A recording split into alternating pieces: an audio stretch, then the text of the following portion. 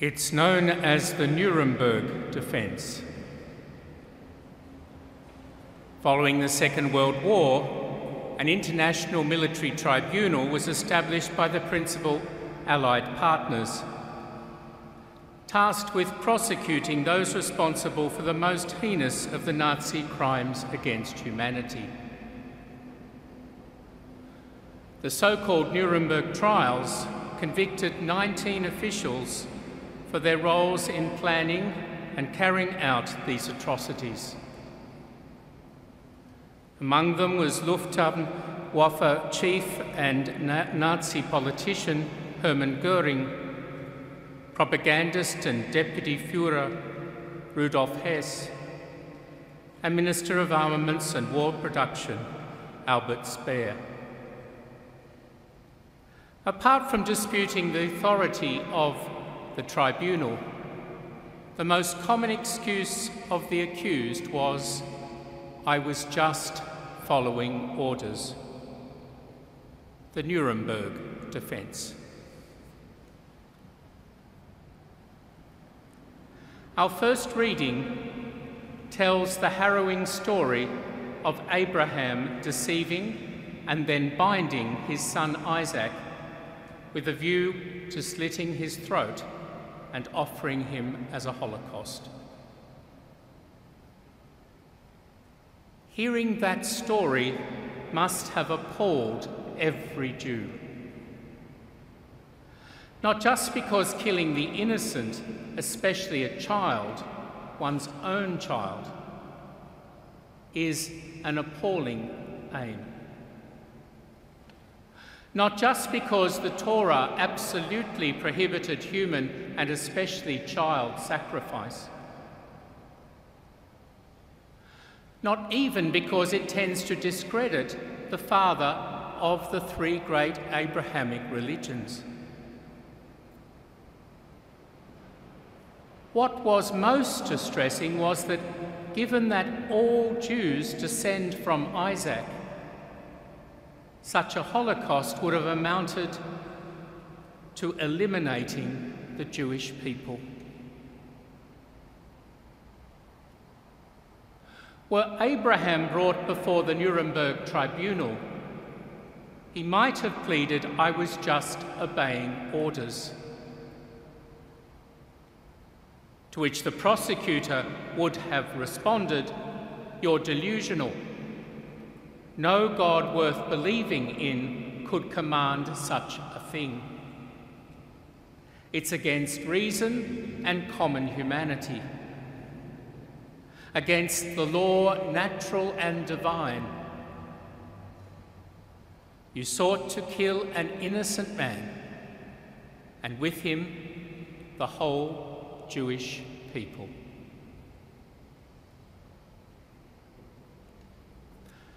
Abraham's barrister might have objected that Isaac was spared at the last moment. There was no murder, no war crime.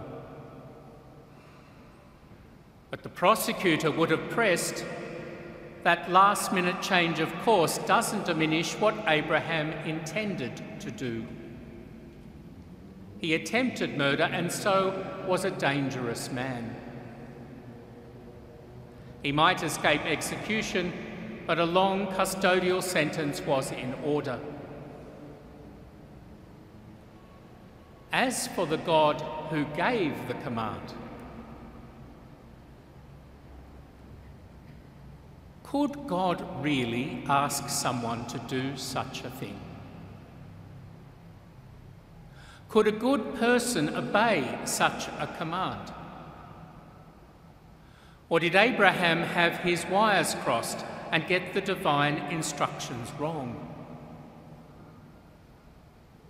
Was he less the faithful patriarch and more the fanatic psychopath?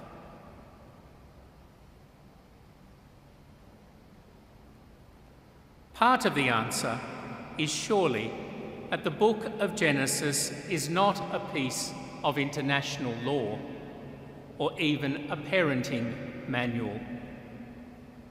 It's a theological narrative. There are many behaviours in these stories that no one would condone. And the characters in these narratives sometimes attribute to God things that are clearly human inventions. So when it comes to Bible stories, handle with care. How best to handle this story with care? It's clear that Abraham was only being tested, that God was never going to let it happen, that Isaac was never really in danger. The moral of the story is not about filicidal or genocidal intentions. It's about faithfulness and obedience. So, St. Augustine said Abraham couldn't have believed that God desired Isaac's death. It's contrary to all Abraham knew, Augustine knew, we know about God. Abraham only went through the motions of sacrificing his son, Augustine thought, all the while confident that God would save the boy from death or restore his life soon after.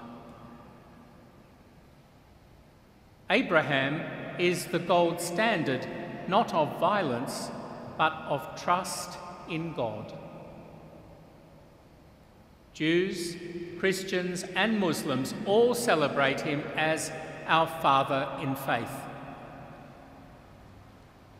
Father Abraham must be judged not guilty.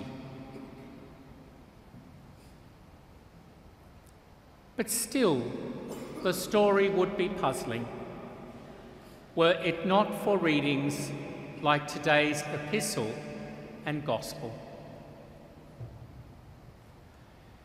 The account of the Transfiguration settles once and for all who Jesus is.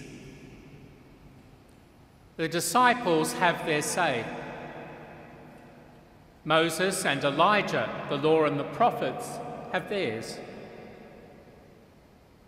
Jesus speaks without words, allowing his divine glory to be seen. And finally, God the Father declares from heaven that this is my beloved Son Now we realize that Jesus is the new Isaac. God was never going to let the original Isaac be sacrificed. Abraham hinted at this when, in a verse strangely left out of our lectionary selection, he told his boy that God would provide what was needed for the sacrifice. It would be God's son, not Abraham's. In our epistle today, Paul chimes in God did not spare his own son, but gave him up to benefit us all. Abraham had said, God Himself will provide the lamb for the burnt offering. And throughout the New Testament, Jesus is identified as the Lamb of God, the new Pasch, slain to take away the sins of the world, but risen and now victorious on the throne of God.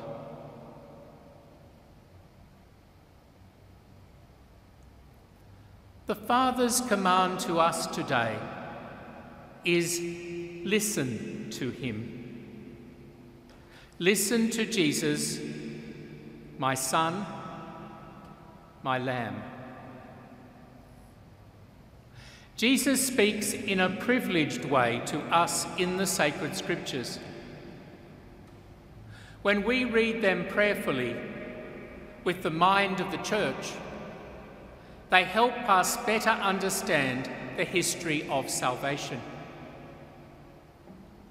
The third century exegete Origen argued against those who questioned God's actions in the Old Testament that we need to read them in the light of our faith in Christ, his cross and resurrection. Or, as St. Augustine so cleverly put it, in the Old Testament, the new is concealed, and in the New Testament, the old is revealed. Read in Christ's Easter light, the story of Abraham and Isaac is no longer the tale of a capricious God demanding the unspeakable from a fanatical subordinate, but something much more profound and more beautiful. It is the foreshadowing of the true sacrifice, that of a loving Father God who would give his all, even his only Son, to redeem us. And that of a beloved Son who gave himself up freely for our sake. and to receive His transforming grace, all you need to do is open your heart, mind, ears, and listen to Him.